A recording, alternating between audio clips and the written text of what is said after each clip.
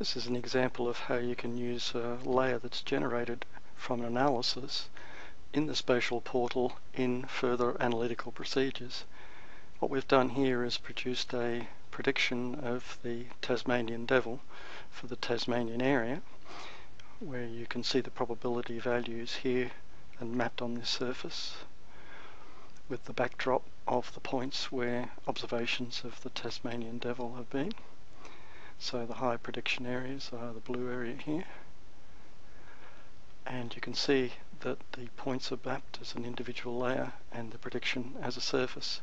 What we're going to do is to do a scatter plot looking at the output prediction layer against another variable. So we're going to plot the Tasmanian devil.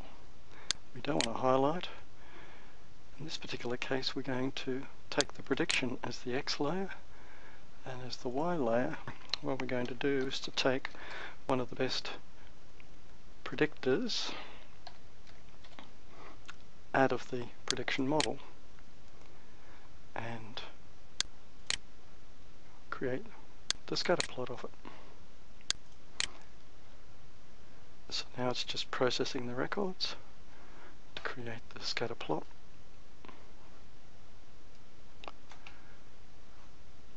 And there's the result. So what we can see here is a scatter plot of the prediction layer values, so high probability at this end, against the precipitation of the driest quarter.